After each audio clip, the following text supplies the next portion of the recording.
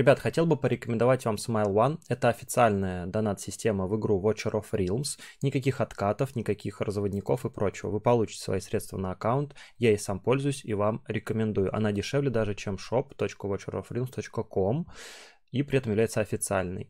Все ссылочки будут в описании. Пользуйтесь. Ребят, всем привет! Вы на канале Тикей Спати, я Тикей, и у нас в этот раз гайд на странников 12 этаж. Я его наконец-то прошел, переодел э, там убер мега шмот, потому что там просто СКБшного везде шмот. Э, на этом этаже, да и в принципе на 10 на 11 одинаково э, важны тайминги, то есть расставляйте, как я показываю сейчас в бою. Очень важно правильно выставить, например, Никс, очень важно всех поставить на те клетки, на которые я ставлю, и там, где я поставил. Это очень важно. Вот иначе вы просто не пройдете. Какие особенности? Э, вверху снизу у нас есть бронированные танки. Сверху зачищает Лунерия, благодаря тому, что у него маг урона, не фьюз урона, не высоко бронированный. Ну а снизу у нас зачищает Сайлос благодаря своей, своему пробиванию с ульты. А, Сайлос должен успевать пробивать первого броника, который, после которого выходит еще два бронированных. И если эти два бронированных успевают дойти до того, как вы убьете первого бронированного, ваши лучники сверху начинают отвлекаться, потому что он как бы заглядывает на их клеточку, и Теовин с Розаком начинают их бить.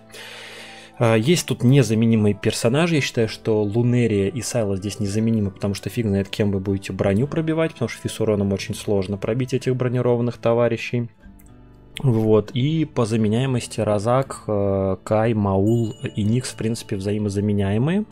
Надо пробовать, можно попробовать и Каем, и Маулом пройти вместо Никса, и вместо Розака можно Кай и Маула поставить. Ну и, собственно, у вас должны быть э, один, один, лучше два заряженных лекаря. У меня это не Сандея, она прокачана на шестой с фулл-шмотом от лекаря. В общем, супер-мега все прокачано.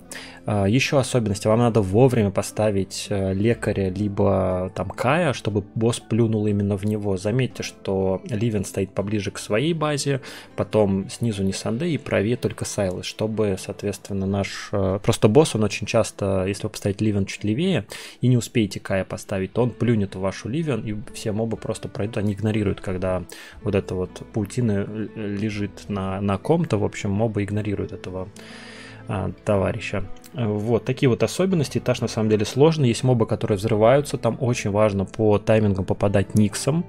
Вот, иначе просто они пройдут и снесут любого и танка, и апсана, и кого угодно. То есть их надо сносить как можно раньше, как можно быстрее. Вот, шмот я покажу, соответственно, показал в конце видео. Важны и, и шмоты, артефакты, и сеты, и вообще все вот это, потому что там просто на тоненького прохожу, раза с третьего, с четвертого я это прошел, и важны тайминги. Вот, все, с вами был Тики на канале Тики Спати, все полезные ссылочки в описании, проходите, здесь бывают стримы, не забудьте подписаться, дорогой друг. Пока-пока.